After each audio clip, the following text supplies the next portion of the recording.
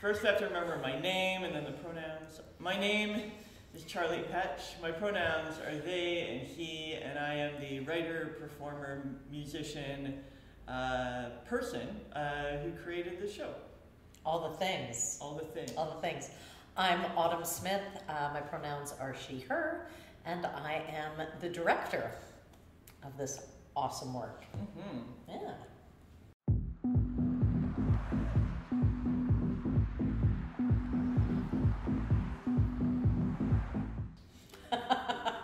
We live in 2024. It's Uh, I think, you know, the world is imploding around us, and we we're seeing a rise back into this.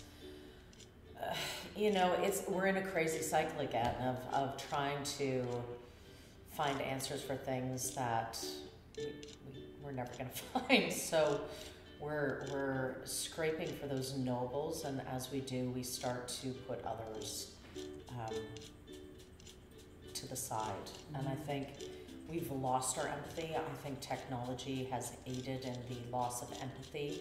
Even when walking today down the street, I was like, we're Toronto is is going back to where it was in the 90s and the 80s and the 70s. You're seeing um, more people displaced, more people in need, and yet now we have a convenient blocker that we put in front of us, and we ignore everything around us. And I think you know this. We need to get back to what makes us human, and not robots, and that's de-escalation and empathy, right? So um, yeah, I, I think everyone should know it. I think everyone needs to stop. We need to start listening, actively listening to one another, and to really take stock of what is important. And story and people are important.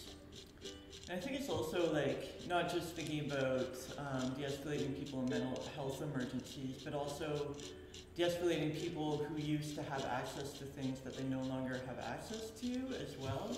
So like you know people who have never encountered the emergency health care system, like um, thinking that they you know you know these ideas of like going from public to private so that you know class gets more access and gets to meet their needs as quickly as they want. Um, I don't think they, they don't recognize that they need uh, de-escalation in all of this because realizing that you're impacted by the system that you've created um, is a really humbling thing to watch people go through.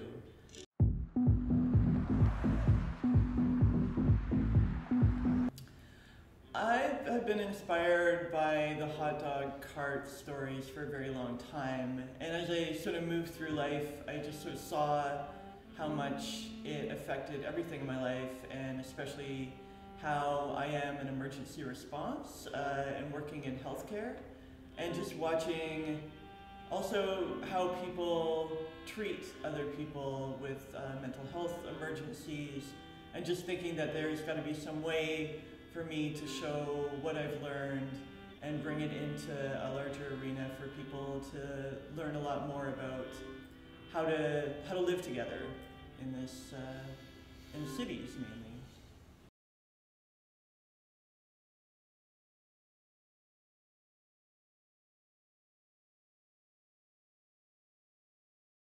Great. And of course, trans propaganda. Thank you. Who's gonna tag that in the very end? Yeah. One hundred- trans. One thousand percent, yeah.